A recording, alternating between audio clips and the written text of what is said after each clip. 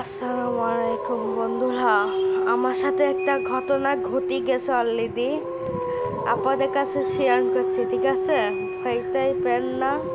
চলেন, ভিডিওটা শুরু করা একদিন আমি নানু বাড়ি গেছিলাম, যাওয়ার পর দেখি কি আমাদের একটা ভাঙা ঘর আছে এক পাশে, ওইখানে একজন গড়াই দড়ি আছে তখন দরজাটা খুলে দেখি গলায় দড়ি দিয়া।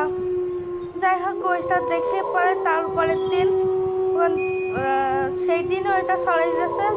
ঘরের দড়ি মাটি দেওয়া দিন হয়ে গেছে। তার তারপরের দিন আমি ওই ঘরে, আমার, আমি ক্রিকেট খেলতেলাম, হঠাৎ করে ওই ঘরে বন চলে গেছিল।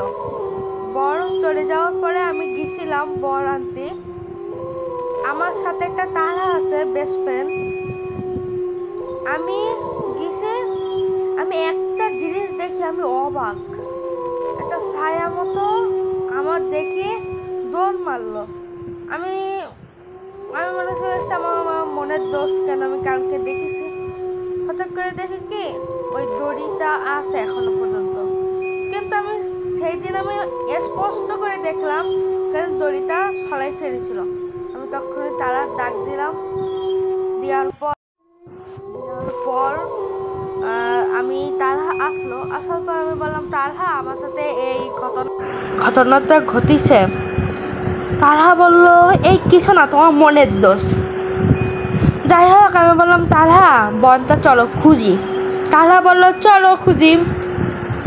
তারা এমন একটা কথা বলেছে, আমি আকাশ থেকে ভেঙে পড়ে গেছি।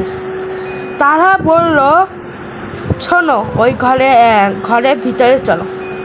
আমি তারা বললাম তারা তোমার এত সাহস ছিল না? চলো না।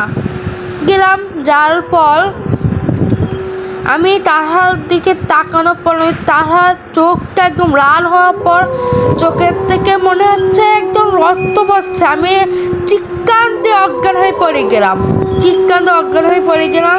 তখন আমি জ্ঞান ফিরে দেখি কি তারা আমার পাশে মাটিতে আমি শুয়ে আছে তারা আহ, চিৎকার তারা বললাম, তারা, তুমি চিৎকার যাচ্ছ কেন? বলল, তুমি এই ঘরের ভিতরে গেছিলা তুমি দুই ঘণ্টা ধরে এই ঘরের ভিতরে কি করতেলা আমি বললাম, তুমি এই ঘরের ভিতরে যাওনি? বলল, না তো। তারপরের থেকে আমি ওই ঘরের ভিতরে আর যাই না। ভিডিওটা ভালো লাগে লাইক করে দেবেন বাই বাই